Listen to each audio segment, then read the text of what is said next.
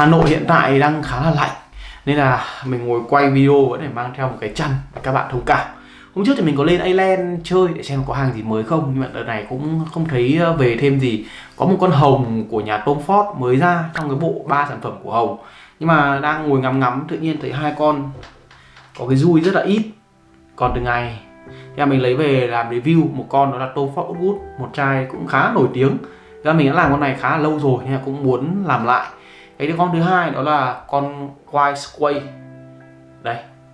Con này thì uh, mình đánh giá là một con dành cho nữ. Và hãy cùng xem cảm nhận của mình về hai cái mùi hương này như thế nào nhá. Bắt đầu thôi.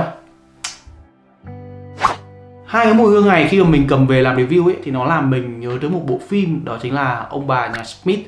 Thì uh, nó chỉ có thay đổi một chút về cái phong cách của diễn viên nam. Thì tí nữa khi mà mình đã review con út hút này thì mình sẽ nói các bạn rõ hơn và cái bộ phim này do hai diễn viên rất là nổi tiếng đóng, đó chính là Angelina Jolie và Brad Pitt. Và thực sự là cái mùi hương của Weiser này thì nó làm mình rất là giống cái nhân vật bà Smith ở trong cái bộ phim này. Quay trở lại với cái mùi hương cho nam, đó chính là Tom Ford Woodwood. Thì các trên tay mình đây đang là phiên bản 100ml các bạn nhìn thấy nó xấu không? 100ml này trông như kiểu cái bia mộ ấy. Mình thì nói rồi, đó là những cái dòng của private blend này, các bạn nên mua trên 50ml và rồi tính ra ml đắt hơn, nhưng mà nếu mà mua 50ml nó rất là đẹp mà các bạn dùng không hết ở đâu mà. Nên là khuyến khích thì là mua 50ml đừng mua chai 100 trăm sáu. Nó chỉ tiết kiệm hơn về mặt chi phí thôi. Và cái dòng Private Blend này thì mình cảm thấy là những cái người mua nó thì đều là những người có tiền. Cái cái mùi hương của Wood khi khi các bạn xịt ra ấy các bạn nhận thấy một cái mùi gỗ trầm các bạn ngửi gỗ trầm như nào? Như thế chỉ là ở đây nó có một cái điểm đó là nó có phần tươi hơi kiểu đất ẩm xốp một tí. Đấy đấy là cái cảm nhận của mình. À, sau khoảng tầm 2 đến 3 phút thì các bạn nhận thấy một cái nét ngọt. Cái nét ngọt hơi kiểu nhựa nhựa à, ở đây thì nó có am với các thứ. Nhưng mà các bạn chỉ cần biết là nó sau khoảng tầm 20 phút thì cái nét tươi nó sẽ dịu xuống cả, càng về sau nó sẽ càng dịu xuống. Mà các bạn nhận thấy cái nét ngọt xuất hiện. Cái nét ngọt ở đây thì nó không quá lấn sân, nó chỉ điều chỉnh lại cho gỗ ở đây cảm giác dễ ngửi hơn. Và nó có một cái chút hơi kiểu gia vị một tí. Nhưng mà gia vị ở đây kiểu chỉ kiểu thêm thắt cho cái món ăn nó vừa phải thôi.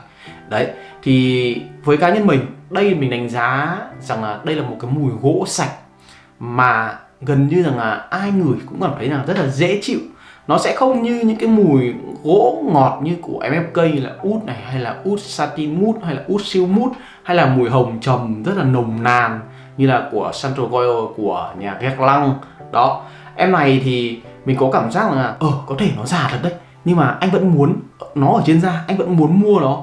Thì đấy là một cái điều rất là nguy hiểm nếu như các bạn người qua mùi gút này, đặc biệt là ở cái tầm tuổi như mình, tầm tầm 30 tuổi, mà chẳng may kiểu không chơi nhiều nước hoa xong rồi ngửi mùi này thì khả năng xuống tiền rất là dễ. Nhưng với cá nhân mình ấy, út hút của Tom Ford không phải là một cái mùi nó quá là đặc sắc.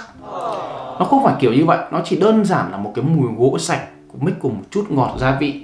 Nó không biến chuyển quá là nhiều. Và nếu mà để nói út nhàm chán thì mình cảm giác là không, út không thể nào nhàm chán được, tại vì mình có thể xịt cái này lên người hàng ngày và mặc có thể suốt cả năm luôn nếu như mình có điều kiện mình đi ô tô. Đấy. Tại vì thực sự là mùi hương này phải ngồi ô tô thì nó mới hợp. Còn ngồi xe máy xong rồi mặc những chiếc áo len kiểu này thì cảm giác nó rất là kịch cỡm. Quá chuẩn luôn. Như mình nói ở đầu video ấy đó là cái mùi hương này nó làm mình liên tưởng tới diễn viên nam Brad Pitt ở trong cái phim ông bà Smith. Nhưng có một cái điều rằng là uh, ở trong cái phim đấy thì Brad Pitt cảm giác hơi kiểu bụi bặm quá còn với út này thì nó mang lại một cái sự đĩnh đạc một cái sự sành sỏi.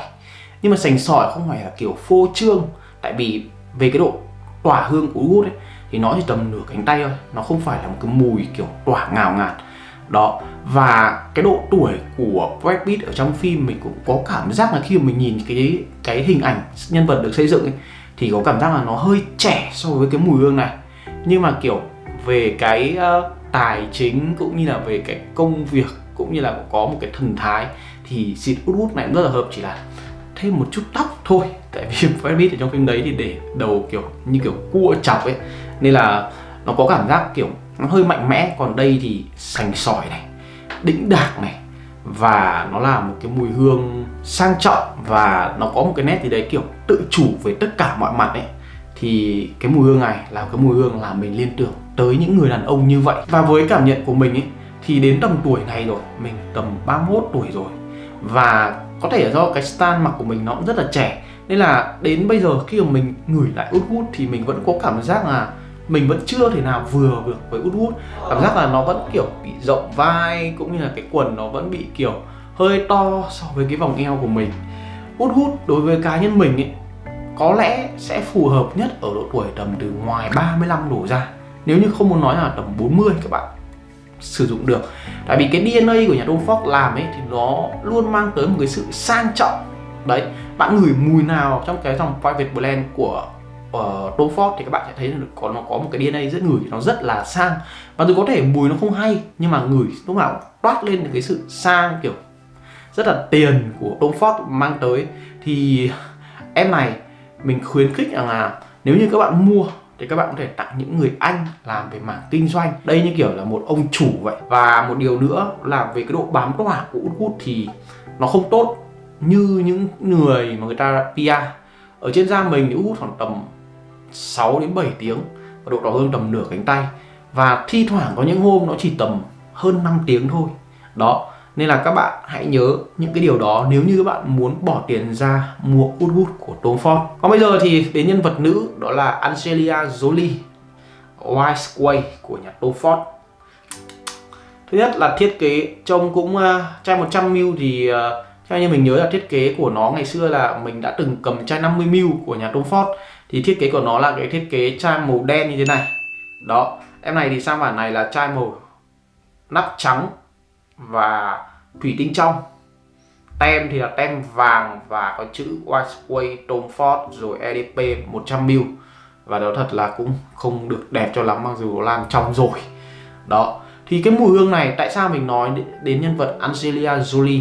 Thứ nhất là có một cái sự sang. Các bạn nhìn Angelina Jolie trong cái phim đấy, cảm giác kiểu đúng một người phụ nữ rất là quyến rũ, là một với cái đặc điểm nhận dạng là một đôi môi rất là đầy đặn đó. Cái thứ hai đó là một cái sự cá tính của một sát thủ. Đấy. Thì đấy là một cái hay. Và mình nghĩ là cái mùi hương phù hợp với Angelina Jolie trong đấy đó chính là mùi hương này. Thì cái mùi hương các bạn xịt ra ở em này đó là một cái mùi da. Một cái mùi da rất là chân thật. Nó như kiểu là những chiếc áo da mà các bạn lấy trong tủ ra vậy. Chỉ là cái da ở đây nó không khó chịu và nó không kiểu uh, gai góc cũng như là góc cạnh bằng cái mùi da của Aubrey Leather hay là những cái mùi da của Tuscan Leather mà ra ở đây nó có một cái độ mềm. Cái mềm đây nó làm mình liên tưởng một chiếc áo bên ngoài bằng da xịn nhưng ở trong lại lót một lớp bông. Đấy nên là khi các bạn sờ vào các bạn thấy một cái độ mịn. Thì cái da này cái mùi da ở uh, White Way này thì nó phải mất khoảng tầm 10 đến 15 phút thì bắt đầu các bạn mới thấy rằng là uh, da bắt đầu được mềm lại. Lúc đầu nó như kiểu là một cái lớp da thô mà các bạn kiểu nhìn từ xa xong rồi các bạn sờ vào và các bạn khi các bạn lật cái áo ra các bạn bất ngờ ở trong nó là một cái lớp bông. Thì cái mùi hương này nếu như các bạn ngửi kỹ ban đầu các bạn sẽ thấy rằng cái nó khá là nó có một cái lớp xạ bao bọc. Kiểu nó làm cho những cái sự thô ráp của da dễ chịu hơn và nó cảm giác là nữ có thể sẽ được. Nhưng mà với cá nhân mình thì nữ phải là bạn những bạn nữ rất cá tính. Và nó có một cái kiểu toát lên một cái vẻ kiểu quyền lực và kiểu tự tin ấy đấy kiểu ờ có mày cũng được không có mày cũng chả sao. Đấy như kiểu uh, nhân vật uh, Angelia Jolie ở trong đấy. Các bạn thấy giết chồng luôn thịt luôn. Nếu như mà nhiệm vụ được giao. Đấy và khi mà dry down của mùi hương này thì cái nét da nó càng ngày nó sẽ càng được cái nét xạ nó thuần hóa lại và càng ngày trở nên rất là mềm và lúc ấy xạ lên làm chủ đạo. Và ở đoạn cuối thì mình nhận thấy có một chút hoa nữa. Và mùi hương ngoài thì cảm giác là rất là mềm rồi. Nó như kiểu là uh, bà Smith, Angela Jolie bắt đầu mặc những cái chiếc váy gợi cả bó sát xong rồi ngồi uống rượu với ông chồng vậy.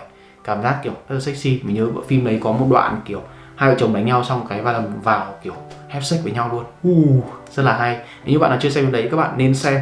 Và nếu như bạn nữ nào đang quan tâm đến mùi hương này thì bạn có thể xem xem cái phim đấy. Và các bạn nếu thấy nó phù hợp thì các bạn nên thử cái mùi hương này. Đây là một cái mùi hương mà mình cũng khá là ấn tượng một dành cho những cô gái kiểu cá tính ấy. Hôm trước thì cũng có một bạn hỏi mình là anh ơi con này em 23 tuổi thì em có xịt được không?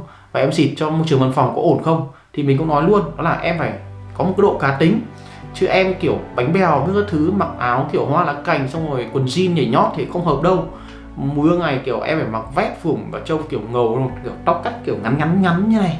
Đấy, kiểu hơi tóc kiểu, mình chẳng biết là kiểu đấy kiểu gì, nhưng mà kiểu mình với kiểu định nghĩa của mình đó là kiểu tomboy tí. Thì ờ, các bạn mới xịt được hương này. Và mùi hương này thì với cá nhân mình, nó vẫn mang DNA của nhà Tom Ford là rất là xa. Nên là cái độ tuổi phù hợp của em này mình nghĩ là phải tầm từ 27 tuổi trở lên thì mới thể xịt được. Và là em này thì bám tỏa cũng rất là tốt nhá. Nó bám trên da khoảng tầm à, uh, 6 tầm hơn hơn đấy. Tầm 7 tiếng 7 7 đến 8 tiếng. Hôm trước thì mấy hôm lạnh quá thì nó tỏa uh, cũng vẫn rất là tốt. Mình nhớ rằng là mình xịt hai con trên tay nhưng mà khi mà mình đi ra khỏi phòng này thì người yêu mình chỉ có ngửi thấy con white square thôi. Đó em này tỏa rất là tốt nên các bạn có thể cân nhắc về việc là xịt vào những ngày nắng nóng nếu như các bạn thường xuyên di chuyển. Còn nếu mà vào văn phòng đúng với cái phong cách của bạn thì quất thôi chờ chi nữa. Và đó là hai mùi hương của nhà Tom Ford rất là sang nhưng mà cũng nên cân nhắc về cái khoản tiền về cái độ bám tỏa. Ờ, có thể là nó không thần thánh như những gì mà các bạn xem review hay là những cái bài viết đâu.